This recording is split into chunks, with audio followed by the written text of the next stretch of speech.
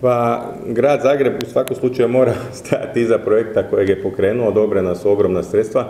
Kako stvari za sada stoje, ta sredstva će mora biti vraćena u e, blagajnu e, Europske komisije. E, grad Zagreb ne može stajati iza toga projekta, jer grad Zagreb jednostavno za to financijska sredstva nema i nažalost bit će to još jedan u nizu upravljačkih poraza gradonačelnika Tomaševića, jer kao što vidite, taj projekt se niti jednog centimetra nije maknuo sa svoga mjesta.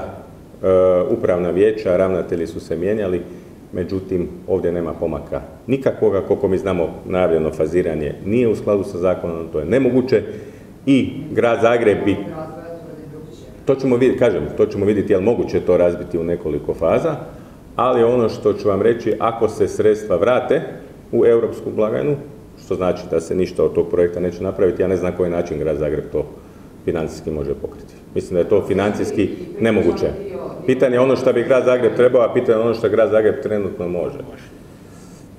Da li i Zagrebački HDZ zapravo i HDZ općenito prihvaća dio odgovornosti upravo za taj projekt, s obzirom da znamo da to sve skupa traje tri godine, da je sve to skupa krenulo upravo za vrijeme Milana Bandića? Pa ja bih vam rekao da sa nacionalne razine je e, Hrvatska demokratska zajednica učinila sve da taj projekt zaživi. Kao što znate, odobrena su ogromna EU sredstva, znate kojim putem to ide, a odgovornost lokalnih vlasti je nešto sasvim drugo. E, kažem, ponovo kriviti pokojnoga Milana Bandića za sve, pa tako i za propast ovoga projekta, smatramo da je već u potpunosti e, deplasirano. Pustimo Milana Bandića e, da počiva u miru i mislim da bi bilo uistinu vrijeme nakon godinu dana ove vlasti, baš da se ništa nije učinilo, da se istini pogleda u oči i da se kaže kako Tomislav Tomašević je nesposoban gradonačelnik grada Zagreba. To je jedan dio, drugi dio je i oni dvije godine prije toga.